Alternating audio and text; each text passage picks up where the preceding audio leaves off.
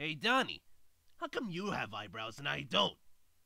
Well, being me has its privileges.